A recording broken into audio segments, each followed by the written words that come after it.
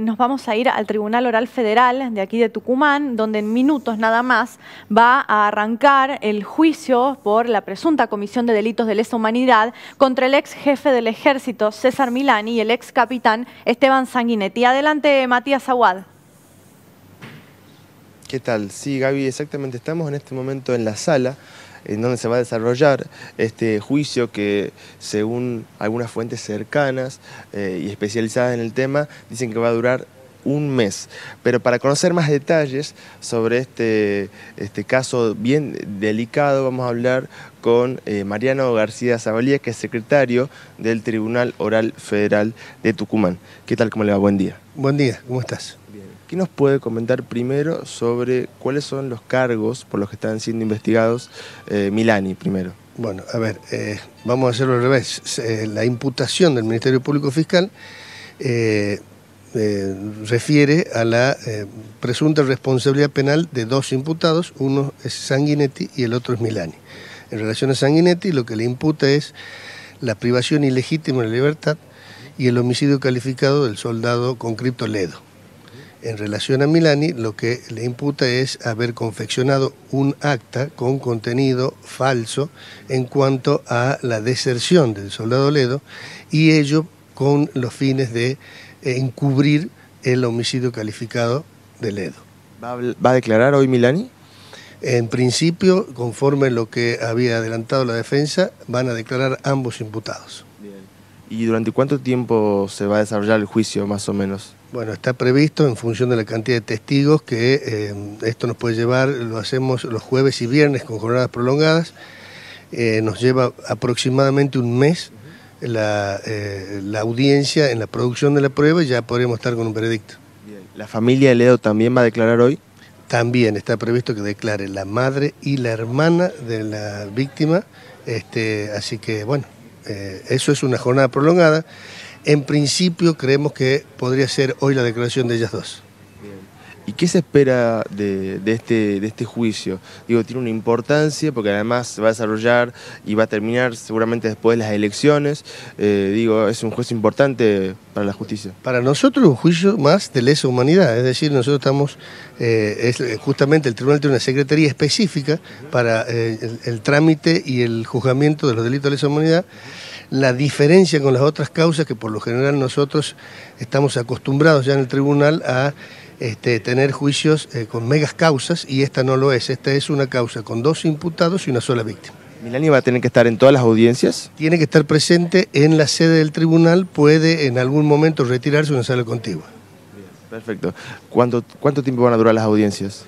Y se calculan jornadas prolongadas, empezamos 9.30 y estaríamos terminando 18 horas, eh, hoy un poquito quizás, hoy menos y mañana también porque son menos testigos, pero después ya con 8 testigos el día jueves y 4 testigos el viernes. Eso le iba a consultar, ¿cuántos testigos van a declarar? Aproximadamente 40 testigos.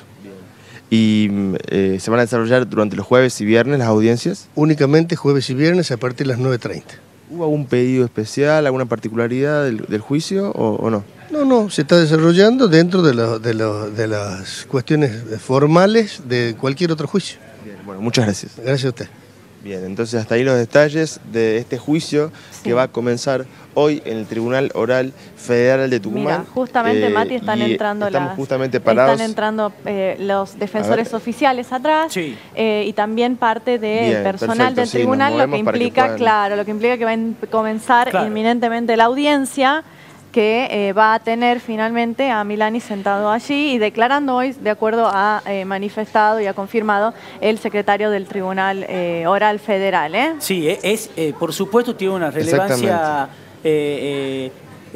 suprema este tema no estamos hablando de, cualquier cosa, estamos hablando del ex jefe del ejército. ¿eh? Exactamente. Nada más y nada menos que del ex jefe del ejército. está acusado de. Claro, Matías. Sí, sí, sí, seguí, seguí, Matías. Sí, eso, les, quería, les quería comentar. Está acusado de encubrimiento y de falsedad ideológica porque habría confeccionado, como dijo Zabalía, irregularmente un acta en la que se documentaba que el soldado Ledo había desertado de la unidad a la que estaba asignado en la localidad de Monteros. Exactamente, eh, entonces, la, y la acusación se... Sí. No, no, no. Recordemos que eh, el soldado Ledo era eh, casi un adolescente que estaba cumpliendo con el servicio militar obligatorio, que en, La Rioja, en ese contexto, fue trasladado a Tucumán, pocos meses después del golpe de Estado que eh, aquí estaba afectado en Monteros a tareas relacionadas según las declaraciones, por supuesto, del ejército, con la reparación de caminos y de escuelas, ¿sí? junto con su unidad, y que en ese contexto estaba bajo el mando directo de Sanguinetti e, y un poco eh, más superior era Milani, ¿no? Mm, claro. Que él desaparece en, eh, ese contexto y que, eh, al igual que ha sucedido con otros conscriptos desaparecidos, porque, porque Ledo permanece desaparecido, em, eh, se ha firmado eh, un acta de eh, deserción, ¿no? que e, a, eso apunta las acusaciones contra Milani, que habría sido quien habría firmado esta, este, esta documentación. Así es, Mati. Exactamente, y es el juicio número 14 que se desarrolla en el Tribunal de Tucumán. El primero había sido en 2008 contra Antonio Domingo Bussi por la desaparición del senador provincial Guillermo Vargas a Ignacia. Así que en un minutito vamos a estar transmitiendo en vivo desde aquí la entrada seguramente a la sala del ex jefe del ejército kirchnerista César Milani. Exactamente, fíjate Mati, por los movimientos que hay allí, ya es inminente el ingreso ¿no? del imputado, que recordemos como el inicio de cualquier eh, juicio oral de estas características tiene la posibilidad de hablar hoy ante los jueces, ante, eh, con el inicio del debate oral, de dar cuenta de sus datos personales y hacer alguna manifestación, si es que así lo desean, en relación a eh, la causa, el proceso, a los, a los imputados y también, como vos decías, hoy van a declarar los familiares eh, de eh, Ledo, ¿no? que han llegado desde La Rioja y que eh, lo hacen en la primera audiencia. Mira, también está la fiscalía ya ahí, está el doctor Agustín Chit también, las vemos, a ver, la doctora Julia Vitar, seguramente el doctor Pablo Camuña también que son quienes van a estar a cargo de llevar Adela y Matías también, que van a llevar adelante eh, la acusación. También están las, las representantes de la Secretaría de Derechos Humanos de la Nación y la querella particular de la familia, ¿no? Eh, no, como decimos que la familia va a declarar hoy para poder concurrir al resto de las audiencias como testigo. Claro.